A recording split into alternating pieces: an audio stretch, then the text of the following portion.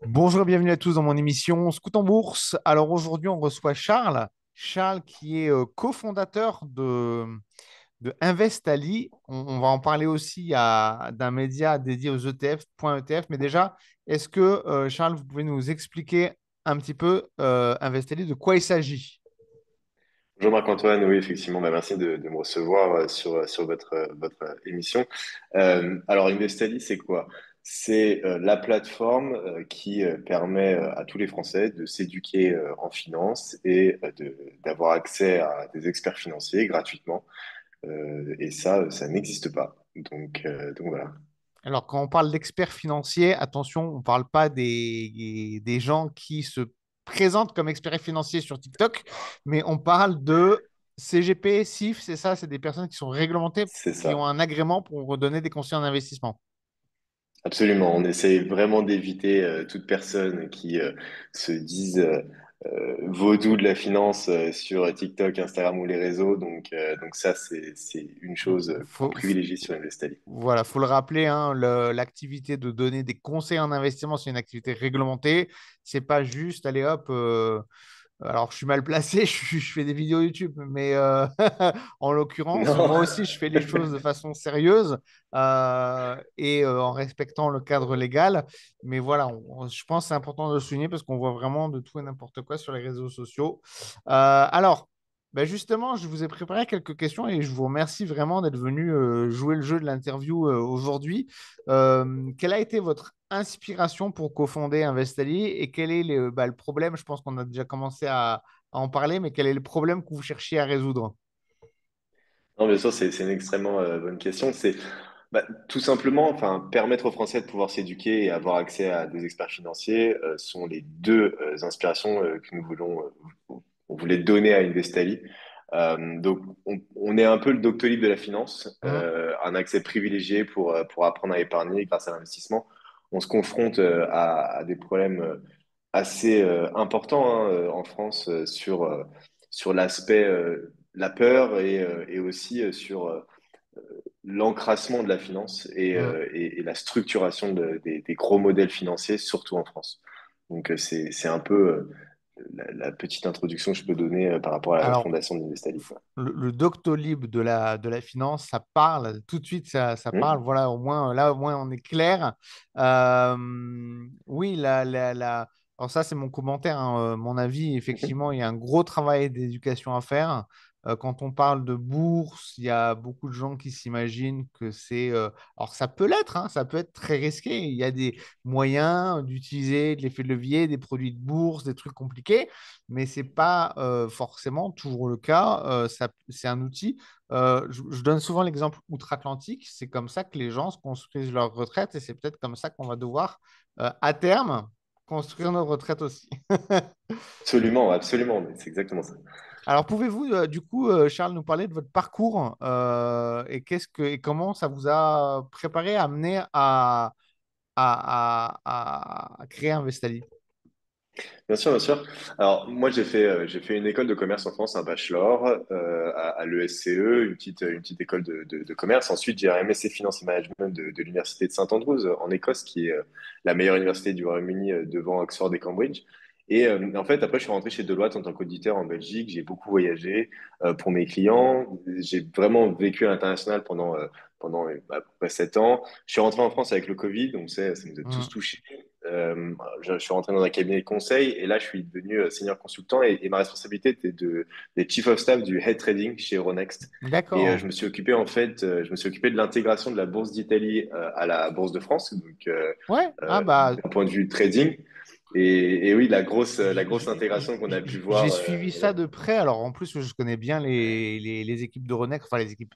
En tout cas, je connais bien les ouais. équipes retail d'Euronext. Bah Euh, oui. que voilà, moi, je suis allé aussi. Alors, j'ai travaillé pour des émetteurs de produits. Donc, je suis même allé sonner la cloche deux fois euh, chez Euronext. Donc, euh, ouais, ça a été une très grosse intégration à la Borsa Italiana qui a été euh, intégrée sur Euronext. Ah, bah, super. Ah, super expérience, ouais. bien sûr, bah ouais, c'est ça et ça m'a permis de faire beaucoup de, de voyages et d'intégration du coup dans, dans ce milieu financier. C'est là où j'ai rencontré Serge Ngoubet, notre, notre CEO, qui m'a parlé de l'aventure Investali et puis bah j'ai été j'étais à fond dedans et puis on a décidé de, de commencer ça, euh, de commencer ça. Excellent, bah franchement excellent, super, euh, super surprise sur le sur le sur le sur Euronext effectivement. Alors Euronext, alors ça petite information, euh, vous l'avez peut-être suivi dans les dans les médias ou pas, mais Euronext, euh, bon c'est c'est une société française à la base qui innove énormément et leur dernière innovation c'est de pouvoir lister toutes les actions américaines en euros sur Euronext. Alors ça c'est une grosse grosse, je sais pas si si, si vous avez suivi ça. Je sais pas si c'est ça, c'est euh, Jem et euh, euh, j'ai travaillé, j'ai commencé à travailler sur ce projet-là avant de partir et Ah super, ah, bah, excellent, excellent. Donc on peut être fier en tant que Français. à un moment donné, même la bourse de New York a été française hein, parce qu'à un moment donné, ça appartenait à Euronext. Donc voilà, on est même si on manque peut-être d'éducation au niveau des particuliers qui investissent, en France, on peut quand même être fier d'être sur la scène internationale. Alors, Investali euh, vise à rendre l'investissement accessible à tous. Donc, euh, comment vous vous assurez à travers votre plateforme euh, que ce soit facile à utiliser? Parce que ça peut faire peur, hein, apprendre. Peut-être que des gens nous écoutent, se disent Oula, ok, m'éduquer, mais il y a des gens qui vont s'imaginer qu'ils vont partir dans un truc super compliqué. J'imagine que non. Non, mais c'est clair, c'est ah, une très bonne question. Donc, en fait, l'accessibilité, elle est clé. Euh, comme je vous ai dit, euh, le Doctolib de la finance, l'application euh, mobile a plusieurs volets. Donc, vous pouvez la trouver sur iOS et sur Android. Donc, podcast, actualité financière, prise de rendez-vous avec un conseiller gratuitement. on donne un accès direct, hein, le chat, la visio, l'email ou autre, avec l'expert de, votre choix. Donc, donc ça, c'est nécessaire. On, pense, on pense que le compte financier est, seulement réservé aux personnes fortunées en France, aux personnes qui ont beaucoup d'aise ou euh, beaucoup de sous à la banque. C'est faux. Euh, tout le monde a, le droit à cet accès et tout le monde doit l'avoir. Et, euh, c'est pour ça qu'on le propose sans problème. Enfin, on va au plus proche des Français, dans les bars, dans les entreprises, grâce à des sessions qu'on a appelées Invest Study, donc Invest et Study, permettant de se mettre dans la, dans la peau d'un trader. Donc ça, c'est le temps d'une soirée ou d'une formation de training dans votre entreprise. Euh, et ça permet de, de, prendre les, les, meilleures décisions dans la gestion d'un capital virtuel. Donc, mmh. euh, et ce capital, il est soumis euh, à des informations de marché. Donc, ça, ça, ça marche énormément. On l'a déjà fait, on l'a déjà expérimenté dans un, dans un bar, je vous en parlerai tout à l'heure, et sous plusieurs types de publics. Donc, on est hyper satisfait d'avoir d'avoir accès en fait à un milieu opaque. Et c'est le retour qu'on a eu, le feedback qu'on a eu. La finance, c'est opaque et on sait. Donc, euh, la, finance d'investissement et, le fait de découvrir ça par le biais du jeu. Donc, mmh. euh, c'est ce qu'on peut proposer aux, Français et, le feedback qu'on a pu recevoir euh, est extrêmement satisfaisant. satisfaisant. On ne s'attendait pas à ça, en fait. Donc, donc, une approche ludique, une approche. ça, c'est important. Alors, pour revenir sur, ce que, sur ce que vous disiez, effectivement, l'investissement en bourse, ça semble. Difficilement accessible. Ça semble qu'on s'imagine c'est pour les grandes franchises. Il faut quand même rappeler que ça l'a été pendant longtemps. Euh, pendant mmh longtemps, euh, on ne pouvait pas investir en bourse avec moins de 10 ou 20 000 euros. C'était difficile. Aujourd'hui, et c'est peut-être là, on pourra en parler brièvement avec les, des innovations comme euh, les, les, ETF notamment, que l'accessibilité des marchés financiers est vraiment ouverte à tous. D'ailleurs, moi, j'ai toujours, enfin, petite, petite remarque personnelle, toujours trouvé ça amusant quand, quand on dit qu'une entreprise, elle va en bourse en France, on va, on va dire qu'elle est privatisée, c'est-à-dire euh, une entreprise, alors qu'en anglais, et, vous avez fait vos études euh, dans mhm. euh, outre-Atlantique, outre-Manche, pardon, les, en Angleterre, on va dire public listed. Donc c'est complètement mhm. différent. L'approche, même, même la façon d'aborder la chose, même la façon de le dire est totalement différente en France, on va dire privatisé. Donc, euh, on a l'impression que ça devient euh, l'affaire d'un petit cercle de, personnes euh, opaques, comme vous disiez, alors qu'en anglais, en Angleterre, en aux États-Unis, on va dire public listed, ça devient accessible à tout le monde, en fait. Et c'est ça que les gens doivent comprendre. ça, mais clairement, mais totalement. Et c'est c'est hyper intéressant ce que vous dites parce que la culture vient impacter énormément la, mmh. la, phase d'approche euh, vers la finance. Euh, et, en France, on a beaucoup de mal avec ça. 90% des Français ont du mal à s'éduquer en finance, à comprendre la finance, euh, mmh clairement. Alors, quelle est votre philosophie d'investissement avec Investali? Comment ça se différencie des autres plateformes? Mmh. Alors, la philosophie Messelia elle est simple. C'est euh, s'éduquer financièrement pour prendre le contrôle de son épargne euh, à travers l'investissement boursier dans les ETF. Voilà. Euh, euh, ça, c'est clair, c'est transparent, on, on se cache pas et, euh, et au moins, si une personne a besoin, elle vient sur Investalli et elle aura accès à tout. Euh, la plupart des plateformes, maintenant, et ce qu'on peut voir hein, de, les- nos concurrents ou moins concurrents, c'est le do it yourself. Donc, c'est on, on télécharge l'application et directement on a accès à faire du trading. Le problème, c'est que 90% des Français, comme je viens de le dire, ont peur de la finance. Euh, on diabolise la finance, euh, le- les chiffres en général depuis le lycée. Euh, on n'a aucune éducation financière à l'école comparé à d'autres pays. hein, vous le mentionnez au, dé- au début, hein, outre-Atlantique aux États-Unis où c'est comme ça qu'ils construisent leur retraite. Et donc, ils l'apprennent à l'école. Et ne pas comprendre fait peur à tout le monde. Et, du coup, ne pas s'éduquer, ni avoir de l'aide et la capacité ou le pouvoir d'avoir de l'aide, ça fait autant plus de dégâts sur son épargne et son argent personnel. Alors, Investalis, c'est la place. Oui, allez-y, Non, mais c'est super intéressant et alors c'est amusant parce qu'on se rejoint sur plein de choses. Je, vous je vous le dis, là, on a, on a commencé Mhm. l'interview, on ne se connaissait pas, on découvre, hein, pour Ouais. les auditeurs, je vous le dis, on découvre et puis en fait, on découvre qu'on a plein de points en commun. Euh, j'ai fait une intervention sur BFM Business euh, lundi sur l'émission Tout pour investir et je disais justement que, euh, alors je parlais des dangers de la démocratisation à l'extrême et j'expliquais justement, justement que ça serait bien de peut-être institutionnaliser un. Alors, les, courtiers, quand vous ouvrez un compte, ils sont obligés de vous demander euh, un, certain, un quiz pour répondre, savoir ce que vous connaissez, les, les produits à risque, les machins, les trucs. Mais ça, c'est bien. Bon, c'est déjà un bon début. Mais ce qui serait bien, et ça rejoint ce que vous dites, et c'est peut-être avec vous qu'il faut le faire, c'est euh, de demander au courtier, peut-être avant l'ouverture de compte, même, même peut-être 15 minutes, mais un petit cours quelque chose de ludique. Il ne faut pas que ce soit un truc euh, relou, machin, sinon les gens ils vont skipper, euh, etc. Mais un petit, mais essayer de trouver un petit truc à mettre en place ludique quand les gens ils téléchargent une application d'investissement ou quoi, bah, qu'ils puissent avoir un minimum d'éducation avant de commencer. C'était exactement le sujet que j'abordais sur, euh, sur BFM Business. C'est exactement ça. Et je suis content que vous l'apportiez ici parce que euh, enfin, on, veut le faire, on est, on, on essaye de le faire, on est en train. Donc, on va continuer à discuter, mais, euh, mais, mais c'est clair que euh, voilà, Indessalis, c'est, c'est la place pour s'éduquer, avoir des conseils euh, gratuitement, euh, parler déjà sur des chats, pratiquer et, et, et investir réellement pour son épargne personnelle par la suite, parce qu'on a aussi une partie où on met en pratique et réellement. Donc, donc, donc voilà, et il faut, on a toute la chaîne, on a de s'éduquer à le faire réellement en passant par le conseil euh, réel et, Mmh. euh, et l'actualité financière pour euh, voilà, donc clairement, voilà, c'est la, la place. Alors, bon, je pense que j'ai déjà deviné la, la réponse à la question qui suit, mais qu'est-ce que vous donneriez comme conseil à quelqu'un qui débute dans l'investissement? Bah, bah, non, mais euh, en fait, voilà, quatre points. Euh, quatre points, c'est euh, le premier, pour rassurer les gens, c'est que c'est accessible à tout le monde. Mmh. Quatre points principaux, principaux, c'est premièrement, définissez une raison d'investir, donc euh, un voyage, acheter une voiture ou même de l'épargne long terme si vous le décidez. En deuxièmement, euh, définissez un montant global, ça, ça vous permettra euh, de, de retirer votre argent sans vous poser trop de questions, est-ce que je dois continuer, hein, pour éviter l'effet casino?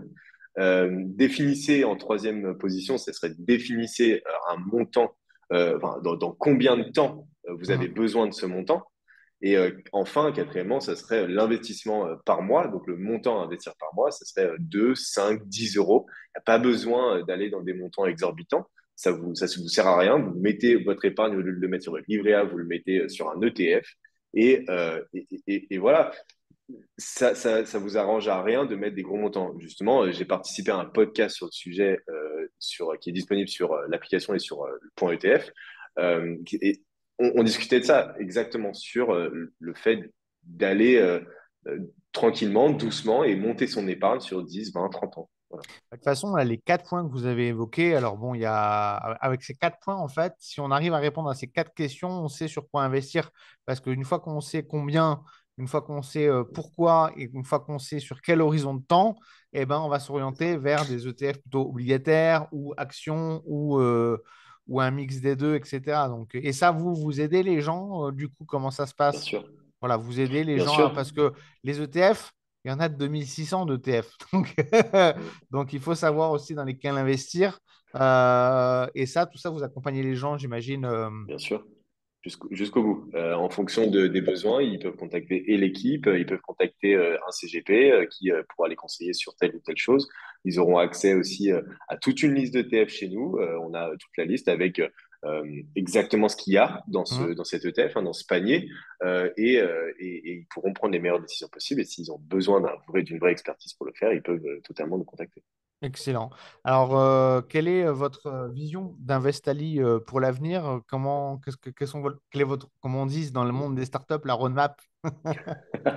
Alors, la roadmap, la roadmap, elle est simple. hein. C'est euh, Investali, on, on- aimerait et on voudrait qu'Investali devienne la place centrale pour toute personne voulant acquérir une éducation financière à travers un accès simple, transparent et rapide à du contenu quotidien et des experts disponibles sans frais et ça pour tous les Français. Donc ça, c'est un peu la phrase clé, euh, notre vision euh, pour euh, qu'on veut installer pour pour la France et pour la finance du peer-to-peer, on va dire. hein. Et, ça, on le planifie comment? En augmentant notre visibilité, déjà, pour tout, Mm. à tous. On sait que, comme on revient à ce que j'ai dit, hein, mais l'opacité du milieu, la- le non-accès à la finance, donc il faut vraiment jouer sur la visibilité. Euh, ainsi euh, qu'en allant au contact des, des Français, comme je vous l'ai dit, euh, dans leur entreprise. On passe 10 heures par jour dans, dans notre boîte. À un moment, il faut aller et vous présenter ça chez vous. Et dans nos événements organisés à bar, hôtel et autres qu'on essaie de faire assez de manière récurrente. Super. Donc, c'est une vraie, une vraie, une vraie approche euh, Mm. euh, locale, présentielle. C'est pas, euh, voilà. Donc, c'est peut-être ce qui manque aussi, hein, c'est d'aller euh, discuter avec des spécialistes.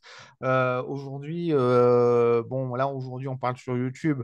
parce que bon, moi, je vis à l'étranger en plus, donc c'est plus simple. Mais, C'est mais vrai. ouais, ouais, ça fait 10 ans que je vis en Bulgarie.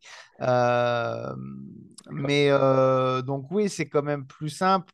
Mais il manque aujourd'hui cette approche d'aller discuter avec des experts. Parce que, bon, on peut aller sur des forums, on peut aller sur les réseaux sociaux. Sur les forums, bon, c'est pas toujours. euh, enfin, bon, de toute façon, les forums, c'est un peu démodé. Aujourd'hui, ça n'existe plus vraiment. Mais sur les réseaux sociaux, on ne trouve pas forcément de bons conseils. Euh, et puis, on, voilà, là, au moins, on va rencontrer euh, des, des experts que vous avez sélectionnés, qui sont agrémentés et qui sont susceptibles de pouvoir répondre à toutes vos questions. Alors, pour conclure cette petite interview, est-ce que vous pouvez partager avec nous, je ne sais pas, une, anecdote ou une réussite ou quelque chose dont vous êtes fier que vous avez bâti avec Investali? Cl- clairement, clairement. Euh, donc, notre, premier, euh, c'est très simple. hein, Notre premier donc, euh, ça a été à Béziers, dans, un- bar. Et, euh, durant notre session, euh, il y a un, couple qui, n'appartenait pas du tout au monde de, la finance. hein. Le, mari euh, travaillait chez, euh, Casino, je crois. Enfin, voilà, des, des gens qui sont euh, pas du tout euh, euh, dans, qui, qui ne voient pas l'impact de la finance et surtout qui dé, enfin, diabolisent la finance, hein, et ça, on Mhm. le sait. Et puis, euh, ils ont participé à notre, à notre session par, euh, par hasard. Et, euh, et après leur avoir expliqué euh, cinq minutes le, pourquoi la bourse, pourquoi les ETF et, et notre, notre, le but de notre, notre challenge, notre session, en cinq minutes, ils ont compris et ils ont surperformé la totalité des jeunes qui étaient, des, des 20 participants qui Ah, étaient dans, le, dans, dans la finance, enfin dans, le, dans la session. Et, euh, et ça, euh, en partant, ils nous ont, ils nous ont remerciés pour euh, cette découverte et ils, nous ont dit, voilà, on va réfléchir à comment mieux organiser notre épargne et potentiellement investir. Donc ça, pour nous, c'est une réussite pour Investali et c'est clairement le Graal de ce qu'on veut, ce qu'on cherche. C'est qu'on éduque des gens en cinq minutes sur pourquoi épargner, pourquoi c'est important, pourquoi les ETF et pourquoi la bourse et pourquoi avoir un accès à des, euh, des conseillers. Voilà. Alors, c'est excellent. Alors, euh, petite anecdote, encore une fois, c'est amusant parce que vous parliez d'un couple. Euh, j'avais fait une interview avec un courtier qui est très connu, on en parle beaucoup en ce moment, Trade Republic, il y a un an. Euh, Ah et il nous parlait, que, il nous expliquait que les femmes, en général, elles s'y intéressent pas du tout à la finance. C'est le truc dont, en général, dont elles s'intéressent le moins. Euh, mais pourtant, quand elles s'y intéressent, c'est elles qui sont les plus douées dans les investissements. Et c'est vraiment énorme. Donc, il y a encore, il y a encore beaucoup ça. de travail à faire. Euh, là, euh, vous parliez aussi de l'impact de la finance sur notre quotidien. J'ai fait un article il n'y a pas longtemps sur Café du Trading où je parlais de la paire euro-dollar. Alors là, on, on est Mhm. plus dans la spéculation, hein, jouer les, les- les devises, etc. Mais dans cet article, j'expliquais l'impact que ça peut avoir. Bah, un euro-dollar à 1,60, un euro-dollar à 1,07 comme aujourd'hui, enfin 1,08, euh, ça, a un impact sur, euh, bah, sur notre pouvoir d'achat, sur euh, le, prix du pétrole aussi, ça impacte beaucoup. Au, au, final, tout, tout, tout, tout, tout le monde de la finance impacte notre quotidien. Et moi, alors pour conclure, euh, je vais rappeler ma philosophie d'investissement. Moi, j'adore investir dans ce que je consomme, c'est-à-dire j'ai du Nestlé, j'ai du Danone. Voilà, c'est presque mon portefeuille boursier, c'est presque un, une carte de fidélité de quand je vais au supermarché. et, ça change vraiment ma perception euh, du monde. Je, voilà, je suis un intervenant actif de l'économie dans laquelle je vis, pas seulement un consommateur passif. Exactement. C'est exactement. Vous, vous, vous, consommez ce que vous investissez. Et euh, je suis euh, absolument d'accord. C'est la base. Excellent. Ben, un grand merci, Charles. Euh, je vais mettre les liens de Investali en commentaire, en description de la vidéo, aussi euh, .ETF, donc votre média spécialisé sur l'information autour des ETF. Et bah, écoutez, ça a été un très grand plaisir de partager ce moment avec Merci vous. Et j'espère peut-être, bah, si vous avez d'autres euh, l'occasion de revenir, vous serez toujours le bienvenu chez nous. Merci beaucoup. Merci à vous. Merci.